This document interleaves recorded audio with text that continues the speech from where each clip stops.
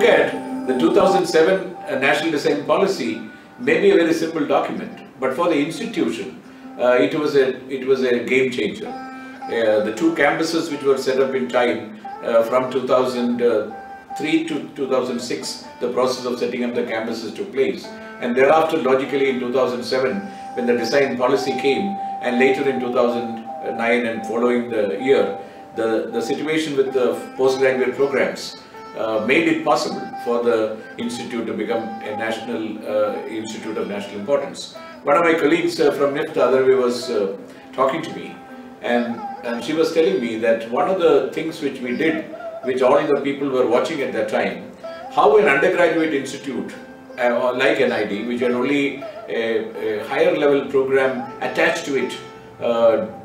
led to 17 postgraduate programs in a span of less than five years. And we had programs like information design, software, user interface, interface design, design experience uh, in uh, the two areas of retail and digital experience, and toy design and development, automobile and transportation design. And we introduced uh, the programs of postgraduate programs which nobody had seen at that point in time. And I'm happy that, you know, if uh, emulation or uh, copying is the best form of uh, admiration, then I would say that almost all the institutes in the country have followed suit by most of them slightly changing the name here and there, but by and large introducing those postgraduate programs. And uh, when a NIFT uh, uh, faculty recently told me that after uh, the graduates, uh, you know, come out of the undergraduate program in NIFT, they are all taking to the postgraduate programs which are offered in NID. This shows that the timely introduction of the postgraduate programs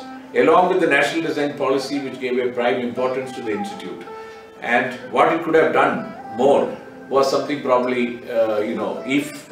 uh, NID had allowed the National Institute uh, of Design to be a separate entity and India Design Council a separate entity, uh, it would have been probably better with the headquarters uh, maybe in uh, Delhi, looking at a global orientation to Indian design. So India's manufacturing activity which the Honorable Prime Minister has called Make in India or served from India which was already we had called in the National Design Policy a design enabled India, uh, made in India, uh, you know designed in India, made for the world and served from India. All these were coined already. But Make in India and Startup India and all this came much later, Skill India. Now if this transformation is linked properly, design becomes the essential skill of all Indians to convert their thinking into more innovation and to create ideas which will fetch commercial outcomes, it would have been a much better outcome. Unfortunately, I think it was more uh, of holding the meetings but really having very little outcome in terms of to show uh, where it has headed. And I'm also a little bit peeved from the fact that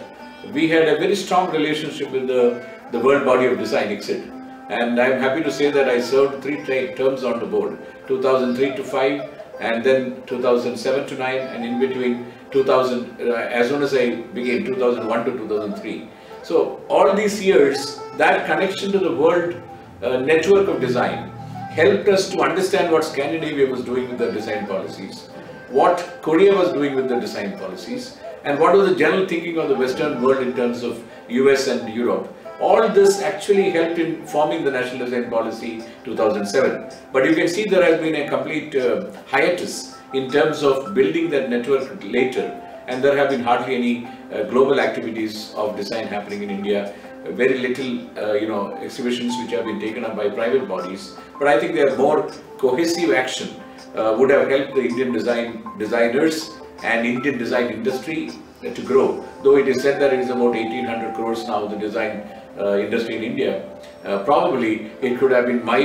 many multiples of that, uh, given the, uh, the good economic growth of uh, 7% and above uh, in all these years, in all these decade just getting behind us. I would comment on the new policy at an appropriate time, but I would like the designers, the industry, the students and the stakeholders to make a conscious evaluation of how the design policy has helped.